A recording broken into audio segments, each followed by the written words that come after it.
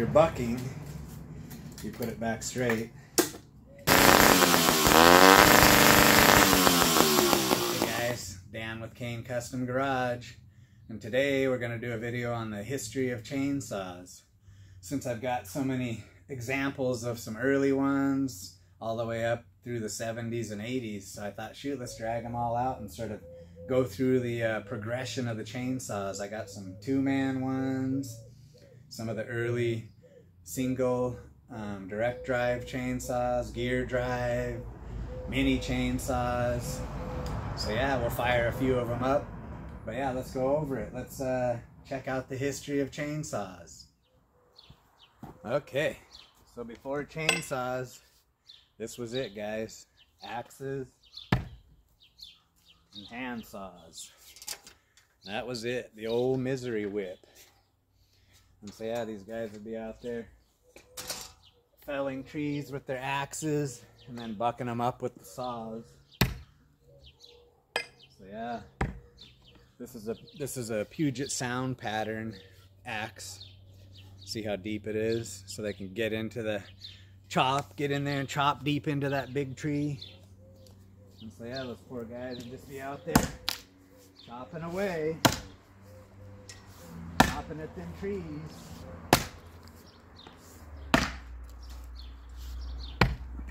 And then they'd bust out their saw. Some other poor guy would get on the other end. And they'd take in the sawing. that one flops around. Here's a little one somebody made made a handsaw out of I think this is a piece of one of those big ones. Yeah, they just take in the sawing.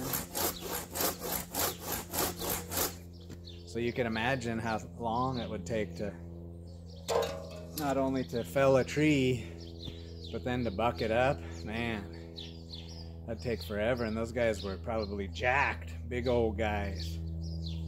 So anyways, they needed to come up with something else. So let's go in the garage and we'll take a look at some early chainsaws. Okay guys, so transitioning from axes and hand saws, they uh, these guys got tired of doing all that. They're like, there's got to be a better way, and so they came out. They started making, uh, you know, powered chainsaws, gas-powered chainsaws.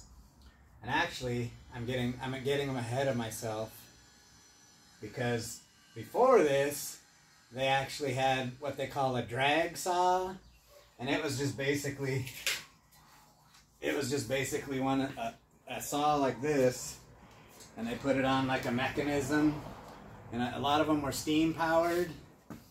And I, I think some of them were probably gas powered too, but it would just sit there and go like that and saw on the log, bucking it. They, they could only use it for bucking. You know, up until then, all the trees, the trees were still mainly fell just by axes. Man, them guys must have been ripped. And so anyways, they used the drag saws for a while, and those things were a pain in the ass because you had to drag it around, and like it was a big, giant piece of equipment and just cumbersome, and and so they started using chainsaws, and the early ones had what they call scratcher chain, and the chain, the teeth were basically like this; they were just straight, sticking straight out, and they sort of cut, you know, okay, I guess, but they weren't the greatest, and so then they they uh, invented the some guy was watching a wood beetle or something.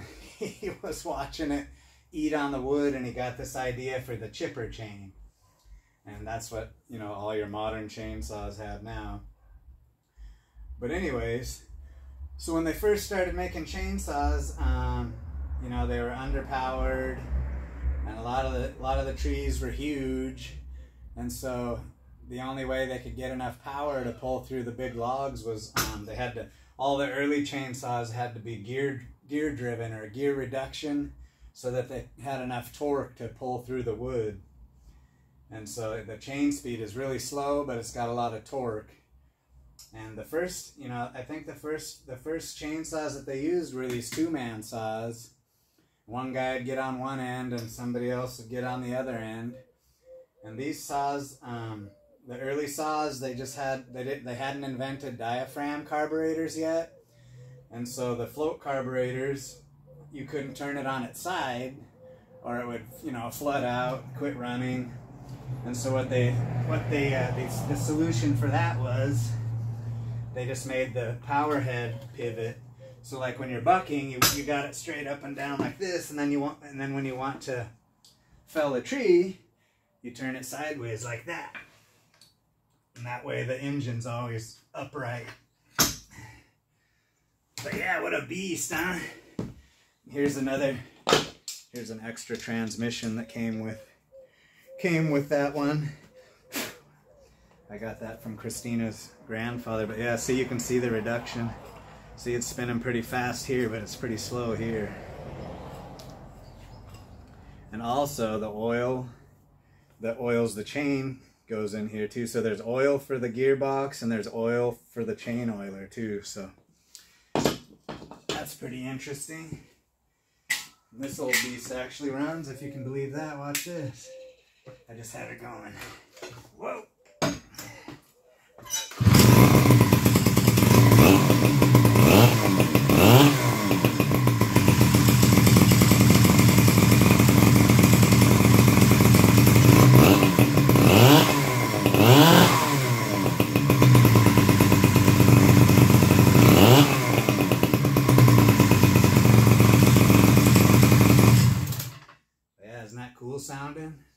Two cylinder.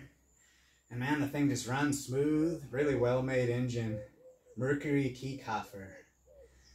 And uh, believe it or not, when I got this from Christina's grandpa, we literally, I literally did nothing to the motor. I just put fuel in it. The only thing that was screwed up was the starter was jacked up in it, so I had to fix the starter to where it works.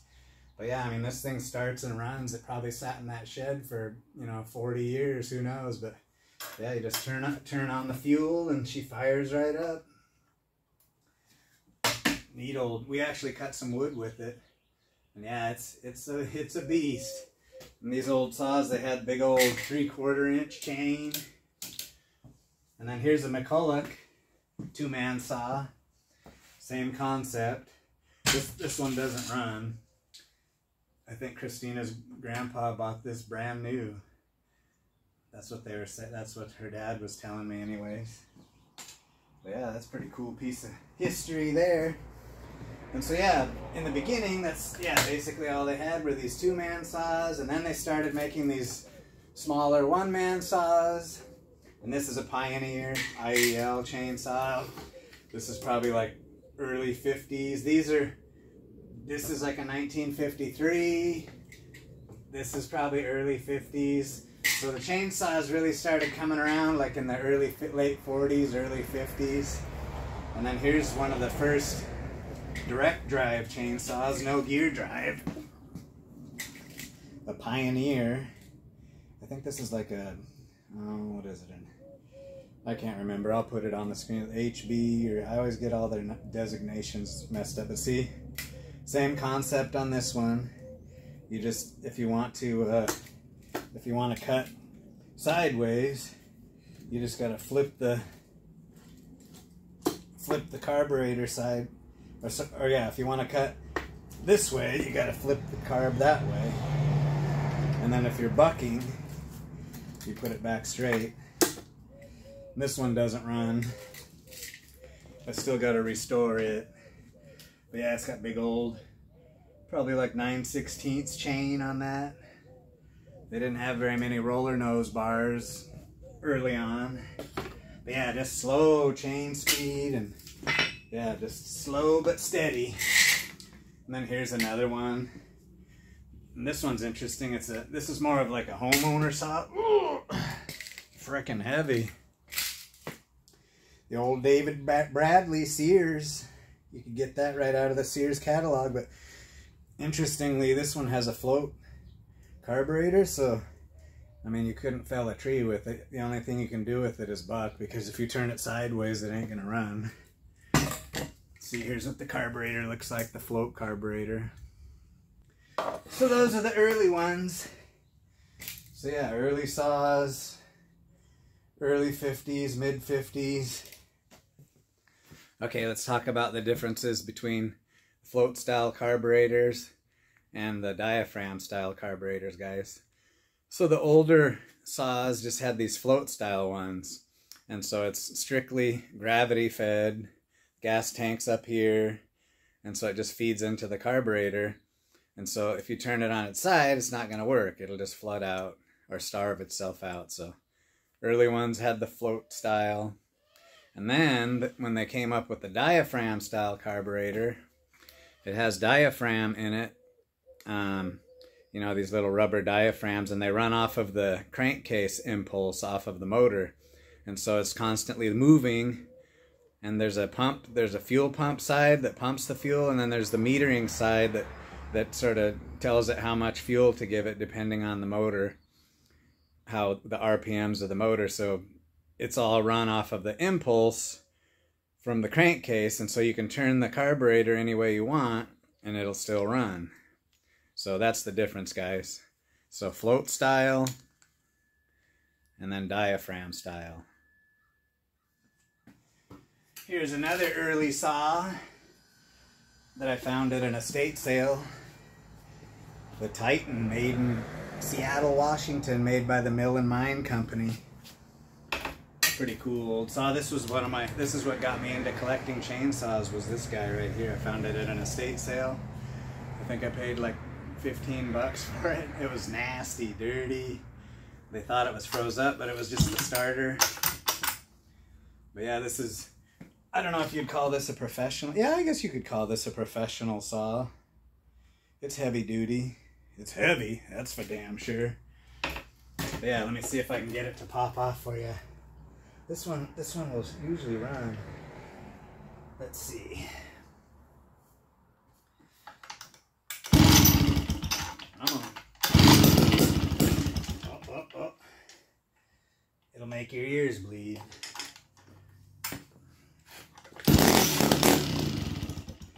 Oh yeah, she wants to go.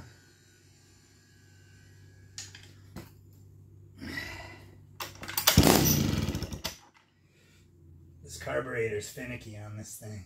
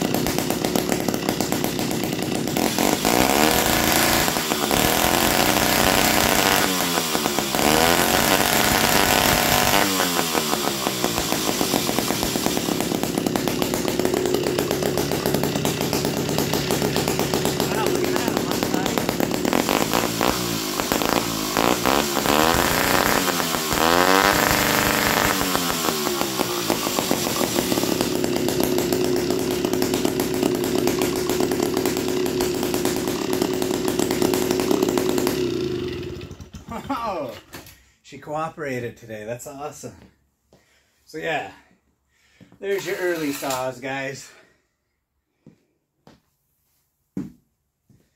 Okay, so now we're gonna move on to the more modern saws. The uh, the uh, we got a McCulloch and a Homelite, both gear drive, but they both have diaphragm carburetors. So now we can turn them any way we want. But yeah, look at that beast. Big old gearbox on there. I don't, I don't want to fire this thing up. It's a pain in the butt, but the chain speed is ridiculously slow. Like when it's running, it's just like, the chain just moves slow. But it sounds killer. Look at that stainless muffler on these things. McCullochs were, were sort of a innovative company back then. Sort of ahead of their time. And then look at this freaking boat anchor. Big old heavy. That looks like a Frankenstein saw. Yeah, same thing. It's got a gearbox. Oil for the transmission. Oil for the oiler. Manual oiler only. big old logger saw there. Both of those are. Oh, and then here's another. So, so, oops, sorry. So supposedly, this was like one of the first true direct drive saws, and this was a really good seller for Pioneer. I think this is a 1956, 55, 56, something like that. Professional saw. So yeah, now we're getting into the, ah, these guys with the freaking tile saw. So now we're getting into the late 60s, early 70s. Here's that 270 that I restored, PM Canadien. These guys started after OMC um, bought out Pioneer. This thing fires up. Let's see if it'll run. Oh, almost. Come on, baby. It has a weird choke. You have to hold the choke.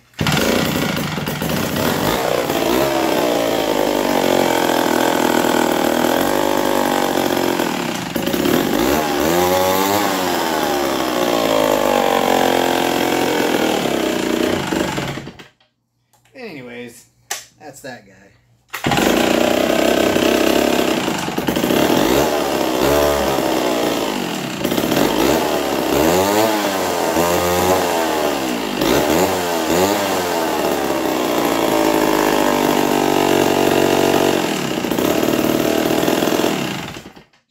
Cold-blooded. But yeah, as you see how slow the chain speed is on these.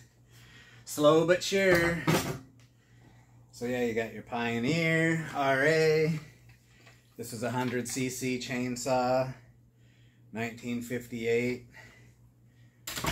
This one's probably like 69, 70, something like that.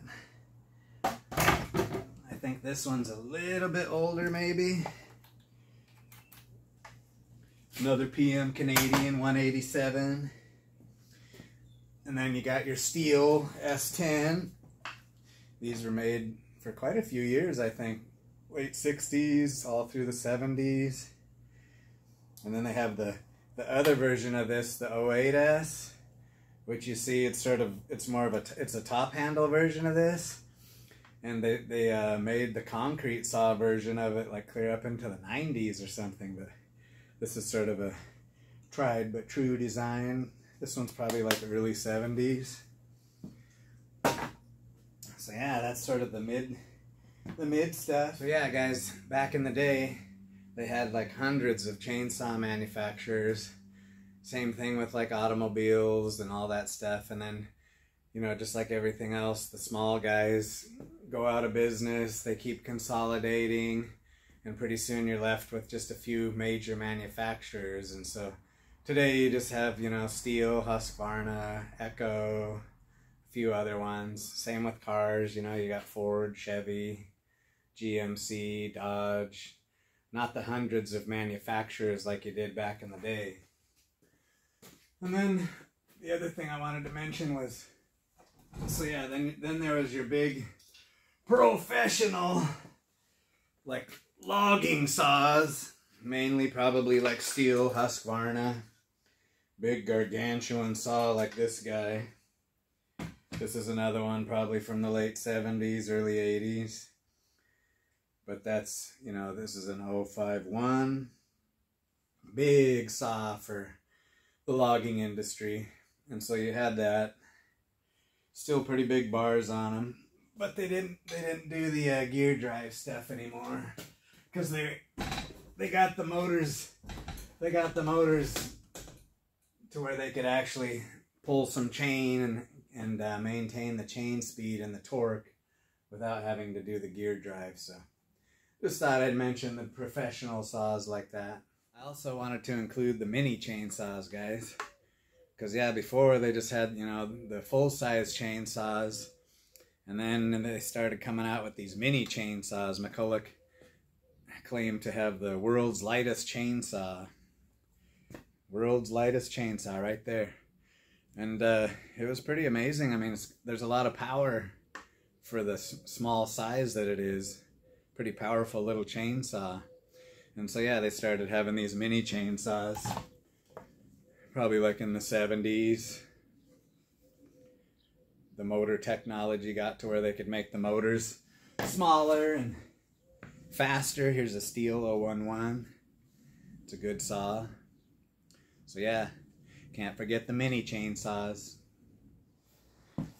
And then the later you get, the faster and lighter the chainsaws are.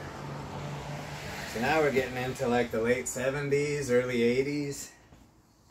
And so Pioneer started making lighter, faster saws.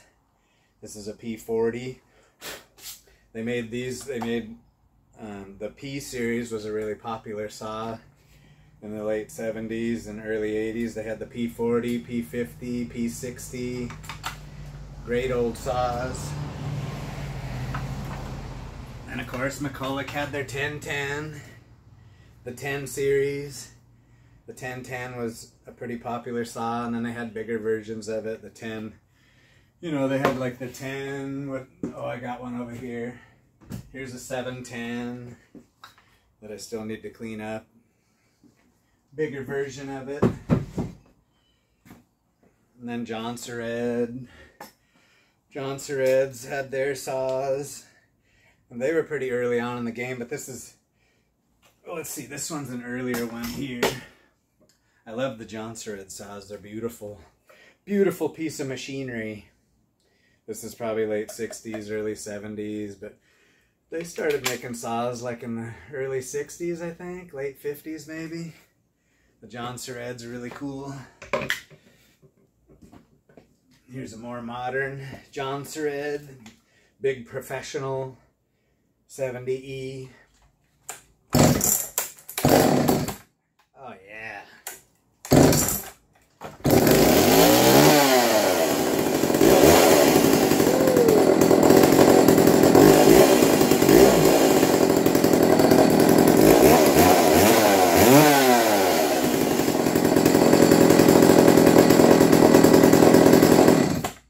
Seventy E, good old song. I also wanted to mention, guys, um, the safety features that sort of came along. Safety and ergonomics. So Echo was the first chainsaw to do anti-vibe. And so basically they'd put rubber mounts, like on this one they're up here. Rubber mounts that isolated the uh, vibration from the operator and the motor. And uh, that helped a lot because I guess the vibration would really mess up guys, you know, the nerves in your hands and stuff would start to go numb after a while. Like after years of doing it, so it's hard on people. So they started doing anti-vibe in all the saws, so it didn't vibrate you to death. And then and then uh, later, which I'll have to find out, but yeah, they started doing chain brakes for safety. So that was some safety stuff they did. Chain brake, anti-vibe. This one has a hand guard, which I guess that's better than nothing. But yeah, so they tried to improve safety. They tried to improve mufflers so they weren't so loud. Like, look at that muffler on that big 750 Echo as compared to this Titan. It's basically just a straight pipe. so anyways, just thought I'd mention that. So yeah, they just kept getting lighter and faster. Here's the XL12 Homelite. Pretty popular chainsaw back in the day. They made millions of them from the late 60s all the way up into the 80s. Even maybe even the early 90s, basically a version of it. Here's a bigger Homelite. XL76. Nice, fast, strong saw. Then you started getting into the late 80s, early 90s. He's this guy with this tile saw over there. So here's the Husqvarna. This is like late 80s. They started getting into more plastic. Here's a 70s Husqvarna professional full-size saw. And so yeah, right up until the right up into the 90s, here's one that JK Saw Shop built for me. Nowadays, these guys are getting into porting them and souping them up. They're light, they're fast. And I mean, these things just blast through the wood, you know, compared to these old saws. They're probably like, I don't know, like five times faster. Come on.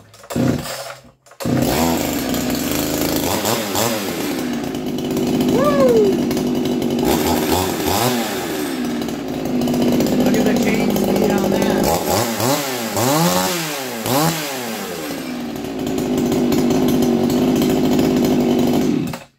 Yeah, like a world of difference from this to those old things. So yeah, chainsaws have come a long ways.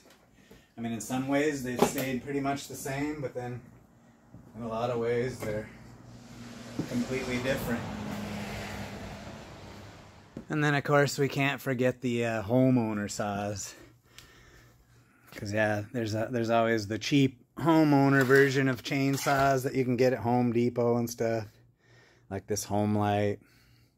I mean, and they're all right for around the house use, but it's not going to last in a commercial environment. But I just thought I'd mention those, the homeowner ones, the the old the old Homelite XL2, that was sort of a homeowner saw. And then here's the old the Craftsman, Craftsman that you always see. Basically the the wild thing. They're okay for occasional use, but eh. So yeah, I had to I had to mention the homeowner saws because that's like a totally different class. And then the only real modern saw I have is one that I'm going to work on here. Here's a more modern Stihl. See, they're basically all plastic. This one's dirty and nasty, but all plastic. So there's my version of the history of chainsaws, guys. Hope you found it informative. I figured I might as well. I got all these chainsaws laying around here. Might as well get some use out of them, do some educational stuff with them. So yeah, just showing from the early to the latest. And I don't even have anything past like the 80s and 90s. So after then, after that, they even got faster and lighter. You know, fuel injection, auto tune, they tune themselves. So yeah, pretty crazy. But anyways, I got a lot of videos of individual chainsaws, working on chainsaws.